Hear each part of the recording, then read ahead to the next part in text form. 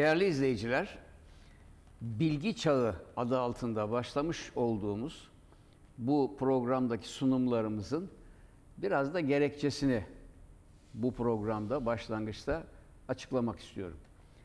Aslında 1940'lı yıllardaki İkinci Dünya Savaşı'ndan itibaren savaşın da getirdiği kodlama sistemleri, şifre çözümü vesaire gibi bir takım savaş argesi yani savaşlar hep insanlık tarihinde olumsuz olarak anılır ama teknoloji geliştirme açısından savaş ortamı insanın canı bahasına araştırdığı ortamlar olduğundan hep önemli teknolojik gelişmelere neden olmuştur.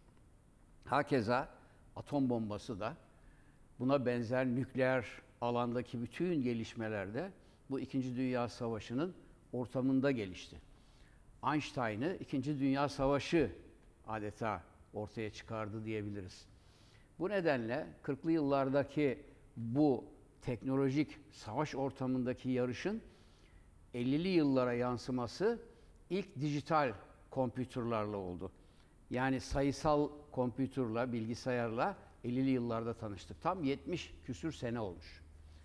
Ben aşağı yukarı çocukluğumdan başlayarak bu yılların hepsine tanıklık ettim. Tabii ki yaşı ileri olanlar bazı şeylere tanıklık ederler. Ben sadece tanıklık etmedim. Ben bilgi çağının içinde bil fiil yaşadım.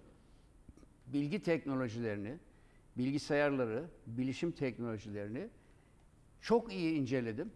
Bu konularda araştırmalar yaptım, uygulamalar yaptım ve bilgisayar tarihinde belki de önemli bir rol üstlendiğimi düşündüğüm için bu programda size önce bilişim dünyasının yani bilgi çağının isterseniz ekrana alalım şeyi ee, yansıtmayı yansıtma çalışıyor mu şu anda? Evet çalışıyor. Yansıtma çalışıyor. Bilgi çağında e, aslında neler yapıldığı, nasıl evrildiğini tarihçesini anlatacağım. Bunun içinde benim bulunduğum ortamları, araştırmaları, uygulamaları da size anlatacağım. Ama esas gelmek istediğim nokta bugün hangi noktadayız? Bunu daha önce öngörebildik mi? Bugün geldiğimiz noktayı öngörebildik mi? Bundan sonra nereye evrilir? Yapay zekalardan bahsediliyor, bizleri korkutuyorlar. Sanki bütün dünyayı yapay zeka, bilgisayarlar ele geçirecekmiş gibi, robotlar ele geçirecekmiş gibi havalar e, yaratıyorlar. Bunlarla ilgili açıklama yapacağım. Yansıtabiliyor muyuz? Bende yansıtma görünüyor. Arkadaşlar ha ilk, tamam. Yani konu başlığımız bilgi çağı. Son 75 yıl diyelim. Bu konuda geçmişi anlatacağız dedik. Geçen programda bilgisayarın tarihçesine kısaca değindik. Bunun içinde benim 1960'lı yıllarda nasıl rol aldığımı da sizlere kısaca anlattım. Ama bir anımı anlatmak istiyorum öncelikle. Orta Doğu Teknik Üniversitesi'nde şehircilik bölümünde ders verirken tabii ki şehircilik 90'lı yıllardan itibaren bizim de yapmış olduğumuz kent bilgi sistemi gibi uygulamalarla ilk kez bilgisayar dünyasına girdi. Sanal ortama taşındı. Haritalar, jeolojik etütler, şehir planları, yani her ölçekteki imar planı dediğimiz şehir planları bilgisayar ortamında çözülmeye başlandı. 80'li yıllarda ilk AutoCAD dediğimiz bilgisayarda çizim yapan programlar çıktığı zaman bunları Türkiye'de kimse bilmiyordu. Hatta Turgut Özal e, o zamanki başbakan çıktı bunları tanıtmaya çalıştı vesaire. Benim belediye başkanlığı yaptığım 1994 yılından itibaren başlayarak belediye bünyesinde, şehir bünyesindeki ilk uygulamaları sadece Türkiye'de değil bütün dünyada en gelişmiş şekilde Aydın'da yaptık. Yani e, şehircilik e, dijital dünyayla, bilişim dünyasıyla tanıştı. Çizimler yavaş yavaş artık bilgisayarda yapılmaya başlandı. Bütün bunlarla ilgili size açıklama yapacağım. Bunların tarihi tabii çok eski. Ben Orta Doğu Teknik Üniversitesi'nde şehircilik bölümünde ders verirken e, işte 2010'lu yıllar e, 2010, 12, 14 gibi yıllarda, bundan 10 sene önce e, öğrencilerime anlatıyorum. Yani onlar işte AutoCAD biliyorlar, NetCAD biliyorlar, e, çizimi bilgisayarla yapmayı biliyorlar. Bir de tabii sosyal medyayla tanışmış bütün dünya. Onlara bilişim e, sektörünün geçmişinden anlatmaya başlıyorum. İşte ilk bilgisayarlar 1620 IBM, bir, e, 360 IBM. Bunlar ne kadar küçük kapasitede makineler ama oda dolusu makineler. Ekran yok, klavye yok. Hatta bilgisayara bilgi girişi nasıl olacak? Yani şimdi sesli giriş yapıyorsunuz Siri'ye, size cevap veriyor. Ekrandan takır takır her türlü veri girişini kendiniz yapabiliyorsunuz. Ekranda görebiliyorsunuz. Onu bırakın dokunmatik olarak her şeye hakim olabiliyorsunuz ama o zaman bilgisayara bilgi girişi sadece ve sadece böyle küçük kartvizit gibi delikli kartlar vardı. Çap matbaası basardı. 80 kolonluk kart. Karton, karton. O kartonların üzerine delik açan makineler vardı. Bunlara delik makinesi, punch, punch machine, punch makinesi denirdi. Punch makinesinin başına geçerdik, programı önce yazardık, önce sonra da punch ederdik. Böyle deste deste, İskambil destesi gibi kartlar çıkardı, onlara program derdik. Götürürdük onu bilgisayar bölümüne, orada kart okuyucu vardı. Kartları dizersin böyle takır takır takır takır takır okur. Öylece bilgisayara bilgi girişi yapılabiliyordu. Bunları anlatıyordum ben. Bunlar tabii 60'lı yıllar. Çocuklar yani öğrenciler, çocuklar demeyelim ayıp olur. Üniversite öğrencilerim benim. Bunların içinde bugün e, Aydın Büyükşehir Belediyesi'nin genel sekreteri olan Ertuğrul Yamen de var mesela. Öğrencilerim dinliyorlar, böyle bakıyorlar. Hiç de böyle şaşırmış gibi bir ifade yok gözlerinde. Dedim ki arkadaşlar yani bunları size anlatıyorum. Gözünüzün önüne getirebiliyor musunuz? Dedim. Bir derste bir öğrencim söz aldı dedi ki hocam yani bunlar tamam dedi. Tarihini anlatıyorsunuz, geçmişini anlatıyorsunuz, içinde yaşamışsınız. Yine bu Orta Doğu Teknik Üniversitesi yani bu e, mekanlarda bunlar yaşanmış. Ama dedi yani bunun dedi güncel bilgilerle pek alakası olmadığı için ve çok çok eski olduğu için dedi böyle dedi şok geçiriyoruz dedi. Ben dedi size bir şey vereyim, örnek vereyim. Sizin dedi e, mezun olduğunuz yıllarda siz öğrenciyken Orta Doğu Teknik Üniversitesi'nde bir hocanız çıkıp da işte biz Cumhuriyeti şöyle kurduk Atatürk'ün döneminde şunları şunları yaptık. Sümerbank fabrikasını böyle açtık falan filan diye anlatsa siz de şok olursunuz herhalde değil mi dedi. Birdenbire uyandım. Ya dedim ben çocuklara 50 sene önceyi anlatıyorum. Ben 70'li yıllarda mezun oldum. Hakikaten 50 sene önceye gidersen 20'li yıllar. Cumhuriyet'in ilk ilan edildiği yıllar. Birisi bana anlatsa bunları ben de şok olurum. Ya derim ya nasıl bir şey? Ha bunun doğal sonucu şu. Hocaya biz o zaman ne yaparız? Dinozor muamelesi yaparız. Ya deriz amma yaşlı adama. Vay be dinozora bak. Şimdi ben tabii hayatım boyunca geçmişten ders alarak, geçmişte yaptıklarımızla, bilgilerimizi üst üste ekleyerek bugünlere gelmeye çalıştım ve teknolojiyi her zaman takip ettim. Bugün bilişim teknolojilerinin geldiği en üst düzeyde de araştırmalarımı sürdürüyorum, bilgilerimi geliştiriyorum, uygulamalara imza atıyorum. Yani dedim ki ben dinozor olmayayım, böyle olayım. Ve vazgeçtim. Ondan sonraki sömestrde de o 60'lı yılların bilgisayarlarını anlatmaktan vazgeçtim. Dedim ki daha güncel olsun. 90'ları anlatmaya başladım. 30 sene sonrasını anlatmaya başladım. Çocuklara dedim ki arkadaşlar siz dedim böyle telefonla internete bağlandığı, internetin ilk çıktığı zamanları bilmezsiniz. Ha şimdi o zaman birisi dedi ki babam anlatıyordu dedi. Yani biz 30 sene sonrasını anlatıyoruz. Öğrencimizin babası onu yaşamış. Demek 30 sene geriye gitsek dedesinin dıdısı anlatacak. Onun için bu anekdotu da size aktarayım.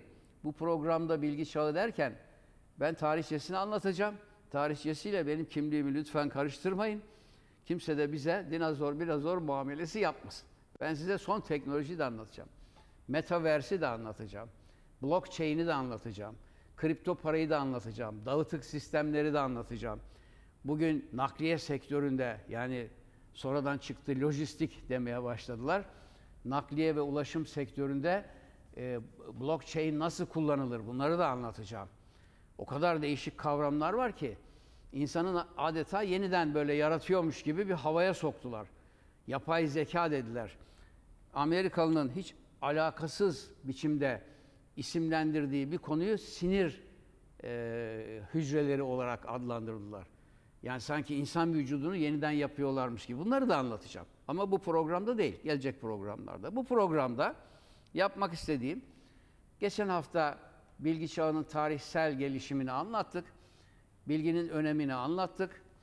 Mağara döneminde bile insanlar, daha okuma yok, yazma yok, ateş yok, yani hiçbir şey yokken mağara döneminde bile insanlar mağaranın duvarlarına bilgilerini kazımışlar. 10 bin yıl sonra biz o bilgiden yararlanıyoruz. Geçmişi öğrenmek için. Bunları hep anlattık geçen hafta.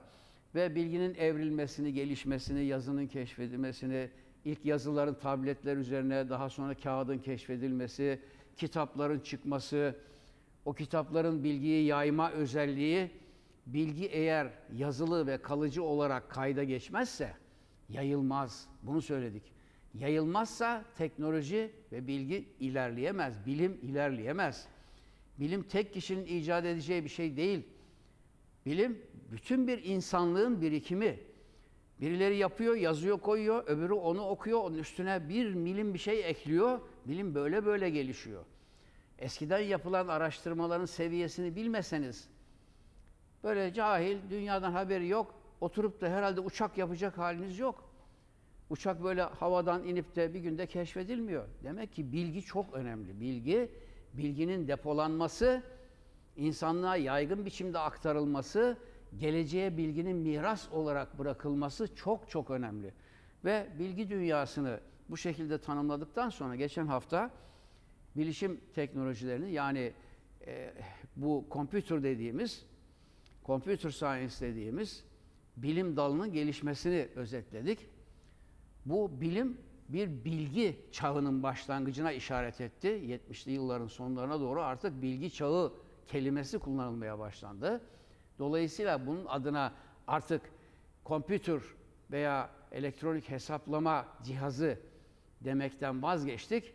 Bütün bir sektörü enformasyon teknolojileri, bilgi teknolojileri diye tanımladık.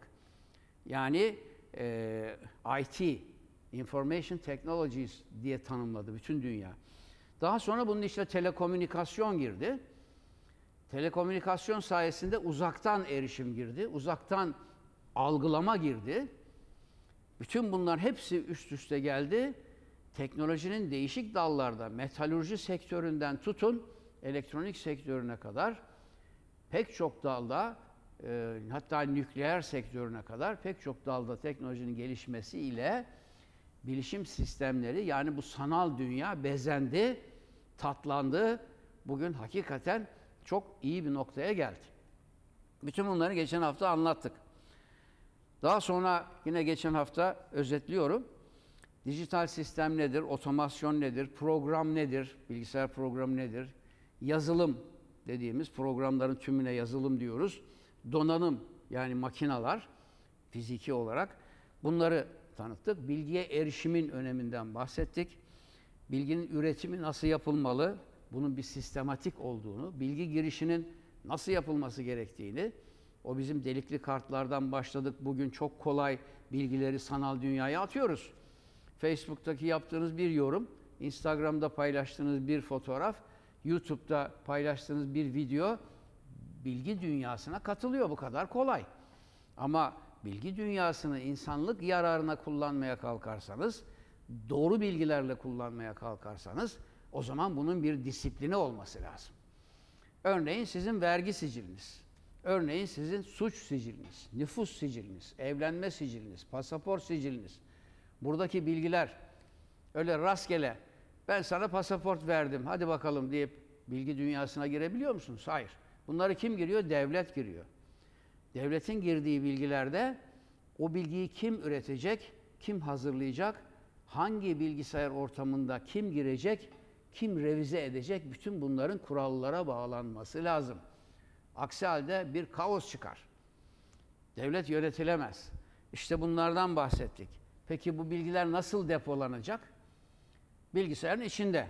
E bilgisayarın bozuldu ne yapacağız? Bilgisayarın yandı ne yapacağız? Olmadı. O zaman kenarda server dediğimiz bilgi depolama istasyonları kuracağız. Peki o bilgi depolama istasyonumuz, serverımız deprem oldu, yıkıldı. Yangın oldu, yandı. Sel geldi, götürdü. Ne oldu? Bütün bilgiler gitti. Hele bu bilgiler devlet bilgisi ise, vergilerle ilgili ise, suç siciliyle ilgili ise, yargı kararlarıyla ilgili ise ne yapacağız? Eyvah.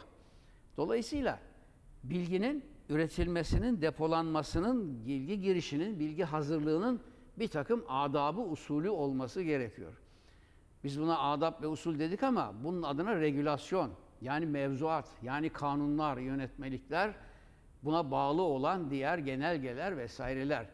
Bütün bunlar bilgi dünyasının çok önemli parçası.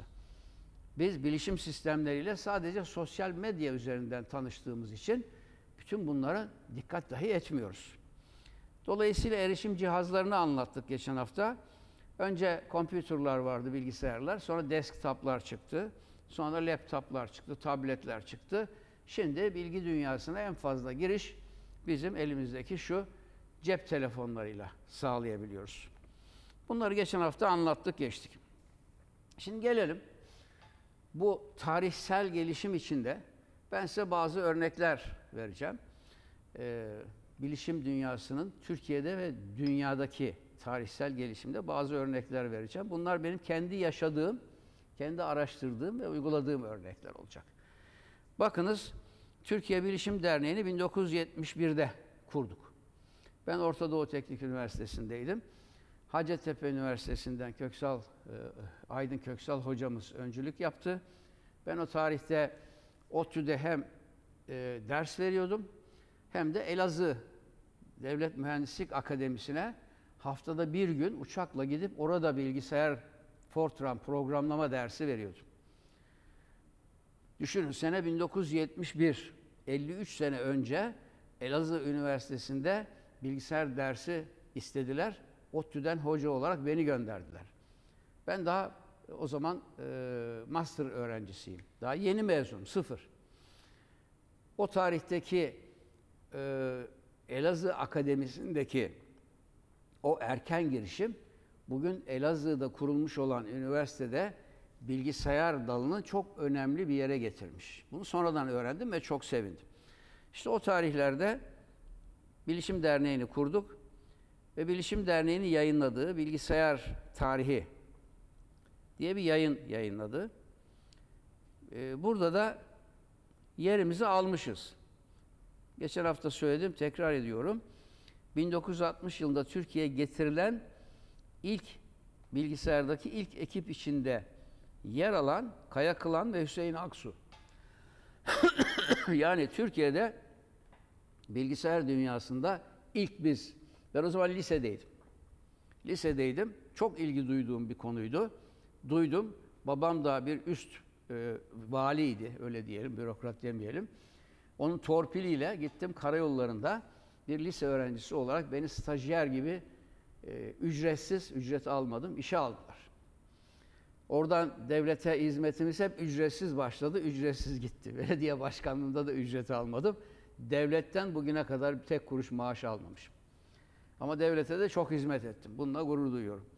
O tarihte 60'lı yıllarda karayollarına gelen ilk bilgisayarlarda lise öğrencisi olarak İngilizceyi iyi çözdüğüm için Amerikalılarla iletişimi ben kurdum. Sonra Orta Doğu Teknik Üniversitesi'ne girdiğimde karayollarından hep beni ararlardı. Bilgisayarda bir sorun çıktığı zaman beni çağırırlardı. Ta ODTÜ'den mezun olana kadar böyle devam etti. Ve e, Fortran derslerini e, benim verdiğimi burada bilgisayar tarihinde Türkiye Bilişim Derneği yayınlamış. Yine aynı tarihlerde Milli Produktivite Merkezi, İstanbul Sanayi Odası, Türkiye Bilişim Derneği'nin Çağdaş İşletme Yönetiminde Bilgi İşlem Sistemleri. Bak işletme yönetiminde bilgi işlem sistemleri lafı o zaman bütün dünyada çok uzak. Yani o zaman bilgisayarlarda basit problemler, mühendislik problemleri, hesap makinesi gibi kullanılıyor bilgisayarlar. Çok küçük çünkü. Çok kapasitesiz. O zaman çok yeni bir kavramı öne sürmüşüz. Demişiz ki bir seminer verelim. Bunu ben önerdim Bilişim Derneği'ne. Dedim ki e, işletmelerde, işletmelerin yönetimde bilgi işlem sistemlerini kullanabilirsiniz. Nerede kullanırsınız? Muhasebede. Vat, e, çalışanlarınızın sicil dosyalarının açılmasında. Bütün bunlarda e, kompütür kullanabilirsiniz dedik. Ve bununla ilgili bir seminer düzenledik. Milli Produktivite Merkezi. E, ayrıca Hüseyin Aksu o yıl mühendislik uygulamaları için probleme dönük bilgisayar dillerinin geliştirilmesi adlı bir konferans vermiştir. Bir taraftan mühendislik problemlerinin çözümü için, karayollarının dizaynı için, betonarme projelerinin 1970'li yıllarda başında çözen programlara tanıtmak için, bir taraftan da işletmelerde bilgisayar kullanımı için bundan 53 yıl önce ders ve seminer vermişiz. Böyle başlamışız. Ve e, bakın benim kendi özgeçmişimden çıkardım. Benim mesleki yayınlarımın yüzde sekseni bilgisayarla ilgili. Burada bakın ODTÜ'de yaptığım yayınlar var. E, Specialized Computer Languages in Civil Engineering. Yani inşaat mühendisliğinde e, kompütür ile çözüle problemlerin kompütürle çözülmesi için özel diller diye makale yazmışım 71'de. Yine e, hidroloji profesörleri hidroloji problemlerinin çözümü için bir makale yazmışım. İnşaat mühendisliğine betonarme projeleri için bir makale yazmışım. KOGO dediğimiz e, kadastro mühendisliği ile ilgili problem yazmışım. E, yine burada e, heat flow dediğimiz e, ısı akışı, ısı problemleri için yani pek çok konularda e, tamamen bilgisayar endeksi. Burada çok önemli bir proje var. Bakın şurada ODTÜ Uygulamalı Araştırma Grubu ile birlikte TC Köy İşleri Bakanlığı, YSE Genel Müdürlüğü, Yol Su Elektrik Genel Müdürlüğü, Köy İçme Suyu Projeleri. Bu projenin tarihi 1973. Bu bir uygulamalı araştırma projesi. Bu çok enteresan. Bu benim hatırladığım ve bildiğim bizim elimizden çıkmış ilk yapay zeka uygulamasıdır. Yapay zeka nedir? İnsanın vereceği kararları verebilen bilgisayar programlarıdır. İnsanın vereceği kararları veren bilgisayar programlarıdır. Bu proje neyin kararını veriyordu biliyor musunuz? Türkiye'de bulunan 40 bin tane köy var. 40 bin tane köy. Bu 40 bin köyün yol, su, elektriğinden sorumlu bir genel müdürlük var. Köy İşleri Bakanlığı diye bakanlık var. Köylerin yolu, suyu, elektriği bu genel müdürlükten sorumlu. Bunun taşra teşkilatı var. Sonradan bu köy hizmetleri oldu. Sonra özel idarelere bağlandı. Şimdi artık hepsi kalktı, belediyelere bağlandı. Köy diye bir şey bırakmadılar. Dolayısıyla tarım diye bir şey de bırakmadılar. Bunlara sonra gireriz.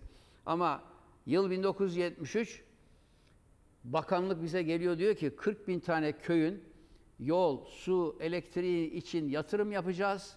Siyasetçiler bizi hiç rahat bırakmıyor. Her milletvekili tepemizde. Hele milletvekilinin bir tanesi bakan olursa, örneğin Sivas'ın bakanı var, Bilecik'in bakanı var veya Tokat'ın bakanı var. Ensemizde bo boza pişiriyor arkadaş. Bütün Türkiye'yi bırakın, benim köylerime yol yapın, su yapın, içme, bilmem ne yapın. Elektrik götürün. E dolayısıyla biz şaşırdık. Biz onları idare etmekte zorluk çekiyoruz. Evet ne istiyorsunuz? Bize öyle bir bilgisayar programı yapın ki Türkiye'deki 40 bin köydeki bizim yatırım programımıza göre öncelikleri hangi köye yol, hangi köye elektrik, hangi köye içme suyu yapılacağının önceliklerini o program tespit etsin.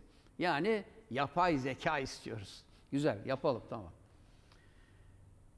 Dedik ki önce bize siz seminer vereceksiniz. Bir köyün yolunun, suyunun ve elektriğinin yapılması için köyün hangi özellikleri ona e, öncelik sağlar? köyün nüfusu, köyün konumu, köyün tarım arazilerinin durumu, köyde yola olan ihtiyaç, yolun uzunluğu vesaire gibi bir sürü faktör var. Yani siz bilgisayara anlatacaksınız ya, diyeceksiniz ki kasabaya en yakın olan köyün yakınlık puanı 10 olsun.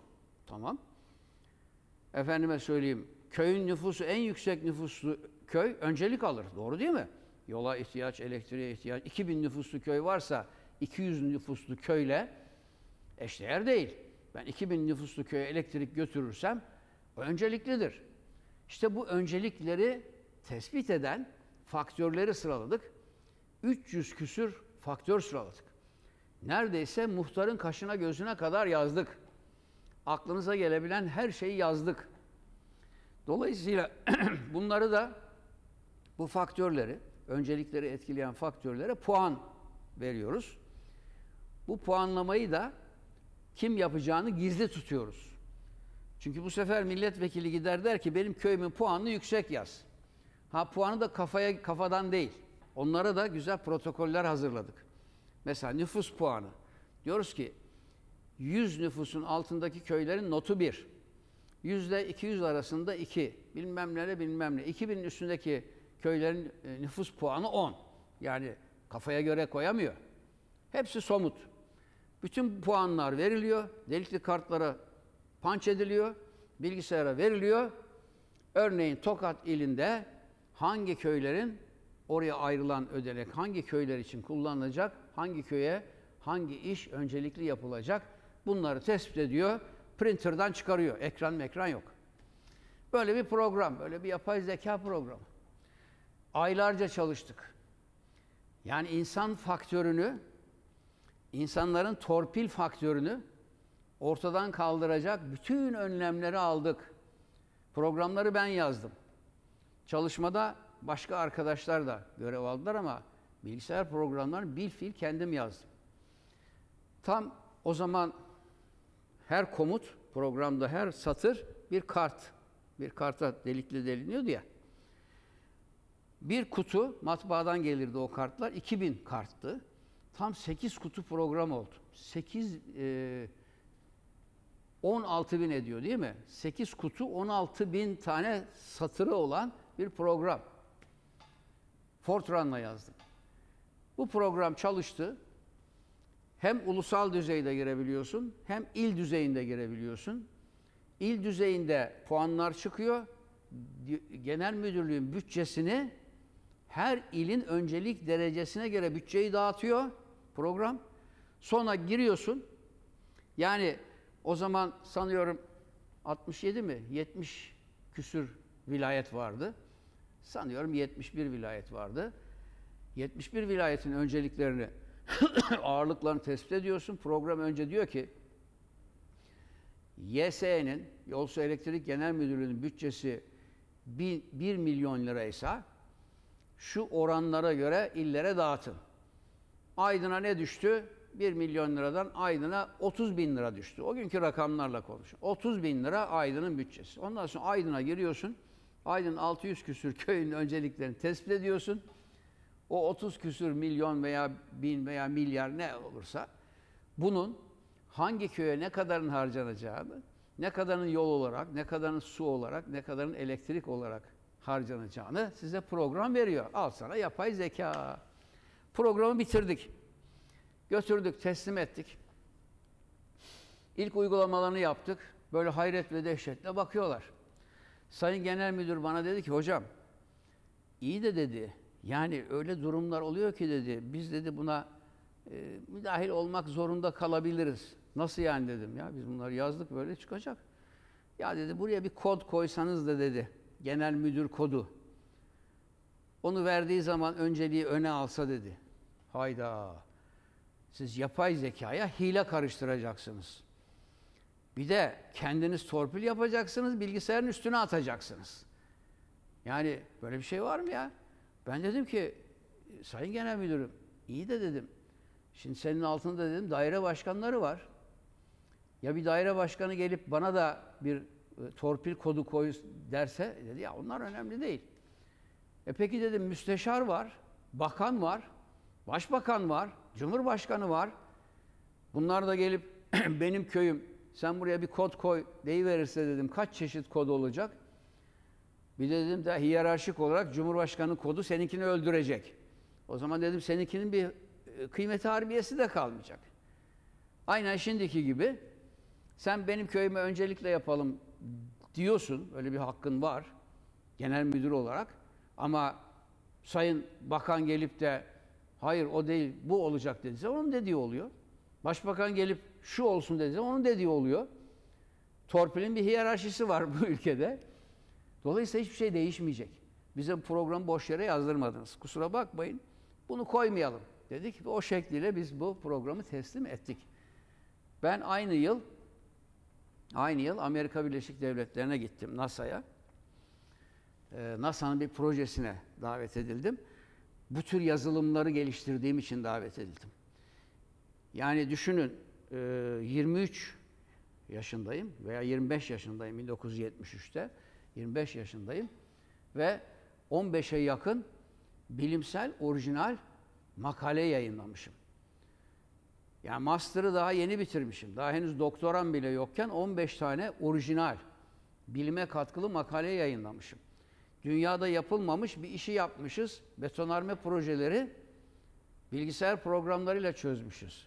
Yapay zeka uygulamalarıyla bir devletin bakanlığının önceliklerini tespit etmişiz. Bu tabii ki bilim camiasına duyuldu. Beni Amerika Birleşik Devletleri'ne NASA'ya araştırma asistanı, araştırma uzmanı olarak davet ettiler. Çok yüksek bir ücretle bizi transfer ettiler. Oraya gittik. Sonra ben Türkiye'ye döndüğümde sordum. Ne oldu dedim YSE'nin programı çöpe attık dediler. Türkiye böyle bir ülke. Torpil olmayan yerde yapay zeka da verseniz, Yüce Rabbimin verdiği nimeti de verseniz, işine gelmiyorsa arkadaş hepsi çöpe gider. Bu ülkede akla saygı yok, hürmet yok. Hatta çok ısrar ederseniz akla düşmanlık var. Akla saldırı var. Ben bunu 70 senedir yaşıyorum arkadaş. Çocukluğumdan beri akla saygısızlığı, ısrar ettiğin zaman akla olan saldırıyı bil fiil yaşayarak geldim. Bu saldırılar bana çok şey öğretti. Şerbetlendirdi adeta.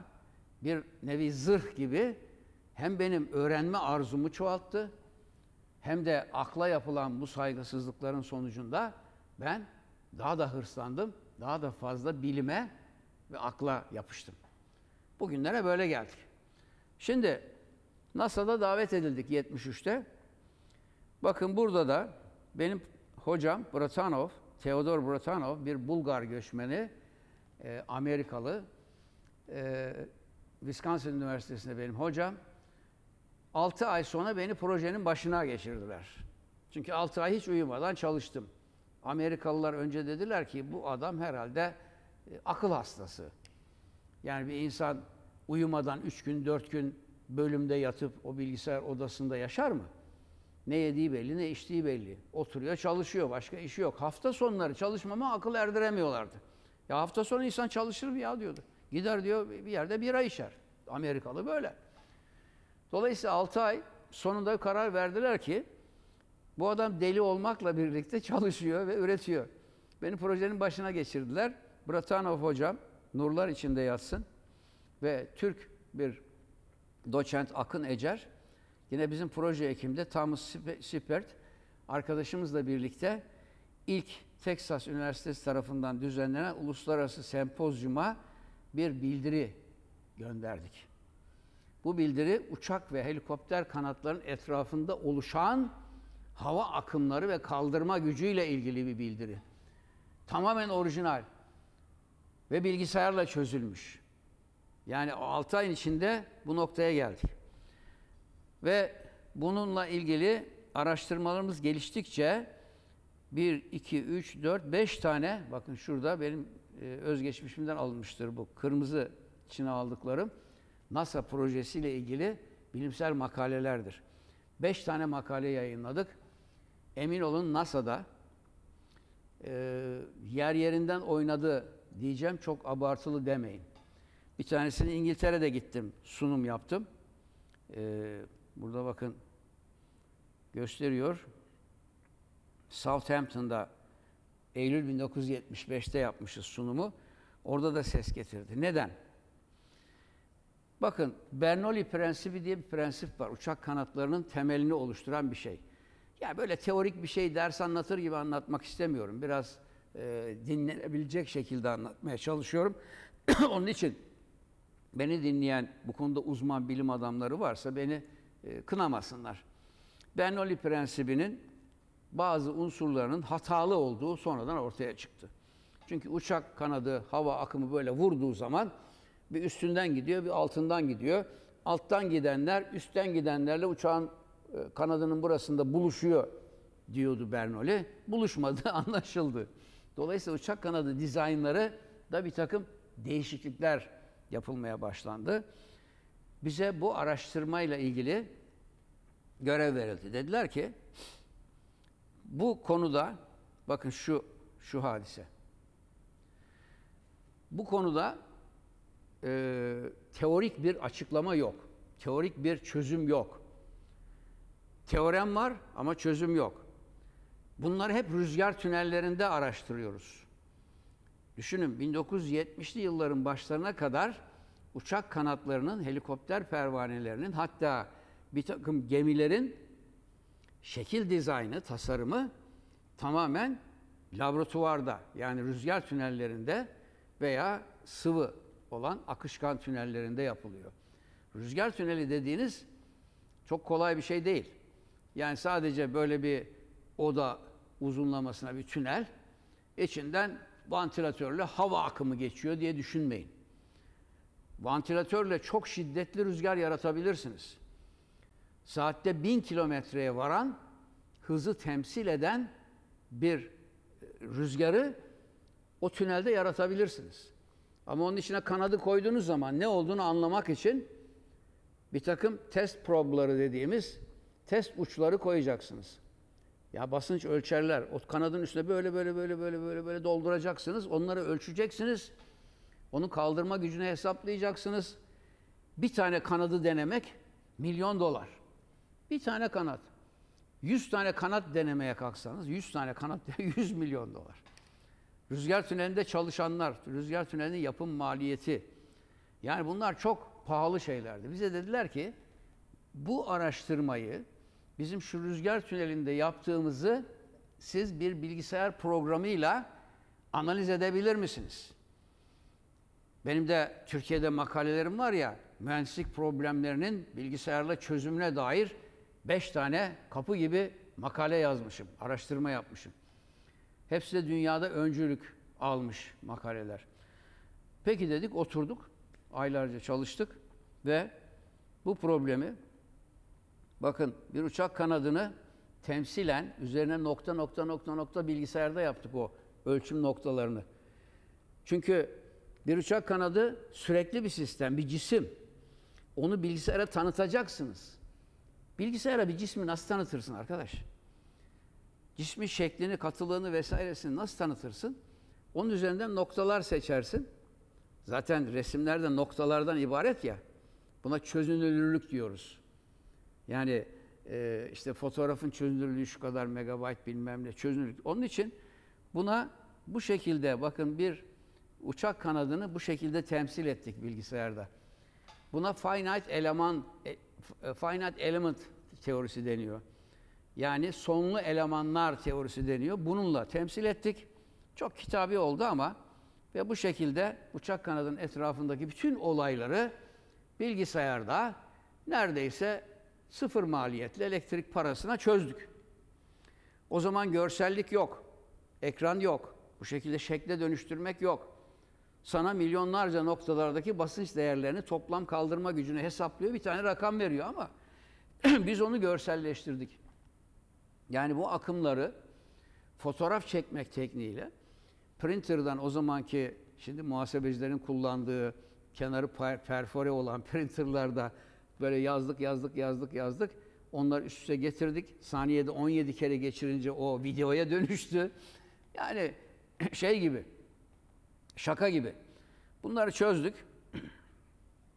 Ve hakikaten NASA'da bu uçak ve e, helikopter, pervane, gövde dizaynında bir devrim oldu. İşte bilişim, bilgi çağının ilk devrimlerinden bir tanesi. Bil fiil içinde yaşadım. Bil fiil içinde bunlara çözüm ürettik. Bunun gibi milyonlarca araştırma yapıldı. Tıpta yapıldı, her sektörde, ulaşımda, aklınıza gelebilen, hukukta. Ben bunlardan bir tane somut örnek verdim size. Uçak kanatlarının ve helikopter pervanenin tasarımında bilgi dünyası, bilişim dünyası ne zaman devreye girdi? 70'lerde, 75 senesinde bunlar artık rüzgar tünelleri çok da itibar görmemeye başladı. Şimdi biraz daha ilerleyelim. ee, şöyle diyelim, benim Aydın Belediye Başkanı'na seçildiğim 1994 yılında ben Orta Doğu Teknik Üniversitesi'nde yine yıllardır ders veriyorum. Toplu Konut İdaresi'ni kurduğum için Toplu Konut İdaresi'nde baş danışman olarak görev yapıyorum. Bu bilişim dünyasında e, hayata geçirmek için mecra arıyorum. Yani Amerika'dan döndüm geldim. Niye döndüm? Kıbrıs Barış Harekatı nedeniyle döndüm. 1974'te Barış Harekatı oldu. Amerika Türkiye'ye sırtını döndü. Ben Amerika'da Amerikalıya hizmet ediyorum. Bilime hizmet ediyorum ama sonuçta Amerikalıya hizmet ediyorum. Emrimde çalışan insanların bir kısmı Yunanlı. Böyle garip bir tablo oldu. Dedim ki ben Türkiye'ye döneceğim. Ben bu Amerikalılara hizmet edemem. Bunlar Türkiye'yi boğmaya çalışıyor. Ve değişen bir şey yok. Aradan 55 yıl geçmiş hala Türkiye'yi boğmaya çalışıyorlar maşallah. Ama biz artık Türkiye'deyiz. Türkiye için savaşıyoruz. Döndüm geldim. Anlatıyorum anlatıyorum. Kimse dinlemiyor. Yani bilgi sistemlerini ilk olarak 1986'da Çankaya Belediyesi'nde emlak vergisi, emlak vergisinin bilgisayarla nasıl toplanır onun için program yazdık, verdik. Sonra kulakları e, pardon e, Allah rahmet eylesin nurlar içinde yatsın. Nevzat Biçer abim 1988 yılında Aydın Belediye Başkanı iken bana görev verdi. Bizim de dedi bilgi işlem müdürlüğümüzü kur. Aydın Belediyesi'nin işlerini bilgi işlemle yapalım. Bilgisayarla yapalım dedi. Ona da bir sistem kurduk. Bundan da Belde Otos diye bir isim koyduk. Belediyelerin otomasyon sistemi diye. Bunlar 80'li yıllarda zorladığım projeler. Onları buraya aktarmadım çok uzadığı için. Ama belediye başkanı seçildikten sonra Aydın'ı kent bilgi sistemini kurduk. Dünyadaki en öncü bilgi sistemi. Ama bu arada başka bir şey el atmışız bakın. Bugün UYAP olarak bildiğiniz Ulusal Yargı Bilgi Sistemi'nin temelini Aydın'da atmışız. Aydın Adliyesi'nde ilk uygulamalarını yaptığımız Aydın Adli Bilgi Sistemi adlı ADBIS isimli bakın 2000 tarihli raporun orijinali. Aydın Belediyesi Bilgi İşlem Merkezi tarafından hazırlanmış olan raporun orijinali 2000 ADBIS. Aydın Adliyesi Bilgi Sistemi. Bu içindekiler bölümü raporun devamını gösteriyorum. Bakın burada tanımlar, sistemin içeriği, nasıl işlemler yürütülecek, raporun diğer detaylarına yer vermiyoruz. Vaktimiz kısıtlı olduğu için donanım olarak ne kullanılacak, yazılım olarak biz ne geliştirdik, veriler nasıl toplanacak, nasıl girilecek, kim girecek, bütün bunları bu raporda anlatıyoruz. Adliye bilgi sistemi demişiz. Tesis edilecek sistem tasarım işlemleri yapılarak bu tasarım temin edilen yazılım donanım birimine denenerek personelin bu süre içinde eğitimleri sağlanarak uygulamaya alınıyor. Ancak bunun yaygınlaşmasını öneriyoruz. Nasıl kurulacağını hepsini burada anlatmışız.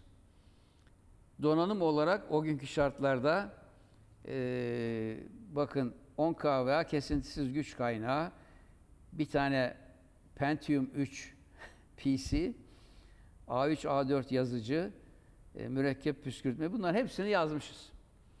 Aydın'da bunun ilk uygulamalarını yaptık. Bakanlıktan müdahale geldi. Böyle şey olur mu filan dediler. E, maalesef Aydın'daki uygulama bile hayata geçmeden boğazlandı. Bunu söyleyeyim. Ama Aydın'da ilk zabıtların bilgisayarla tutulması vesairesi olayı ilk kez Aydın'da başlamıştır. Bunda mucidi olarak Aydın Belediyesi Bilgi İşlem Servisi öncülük yapmıştır. Bunu tasarlamışız 2000 yılında. Şimdi gelelim TAKBİS.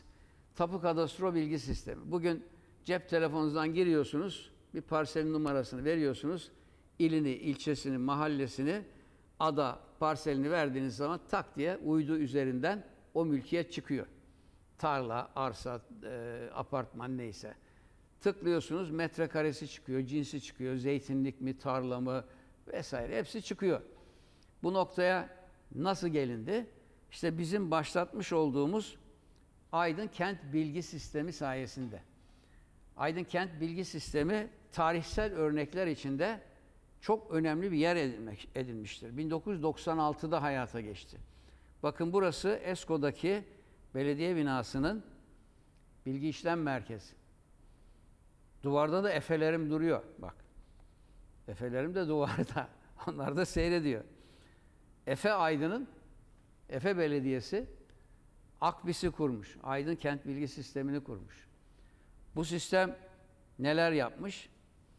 Bu sistem aşağı yukarı bir şehirle ilgili bütün bilgileri görsel, yazılı, her türlü özelliği içinde toplayan erişilebilir, akıllı bir sistem kurmuş. Bunu görmek için Japon Başkonsolosu Aydın'ı ziyaret etmiş. Bu bir gazete haberi. Ulusal bir gazetenin haberi. Sanıyorum Yeni Asır. Ve burada diyor ki ilk kez gördüm.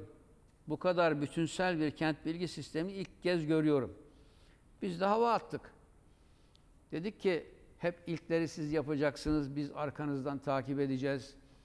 Yok Avrupa Birliği'nin muktesebatına uyacağız diye iki büklüm gezeceğiz, hep böyle olmayacak. Atatürk'ün bize bıraktığı miras, aklı ve bilimi kullanarak çağdaş muasır medeniyet seviyesinin önüne geçin demiş. Biz de mütevazi kent bilgi sisteminde önünüze geçtik. Kusura bakmayın dedik. Havamızı attık. Yani bunlar tarihsel örnekler. Bu proje kent bilgi sistemi projesi İş Bankası'nın açtığı yarışmada birincilik ödülü aldı. Teknoloji konusunda birincilik ödülü aldı. Neydi bu kent bilgi sistemi? Bilgisayarda Aydın, yani Aydın Belediyesi'nin sahası, o günkü Aydın Belediyesi farklıydı. 22 mahalleden ibaretti. Şimdiki Efeler Belediyesi değil. Şimdiki Efeler Belediyesi bütün Efeler ilçesini içine alıyor. O zaman biz sadece 22 mahalleydik. Benim belediye başkanlığım yaptığım yer orası.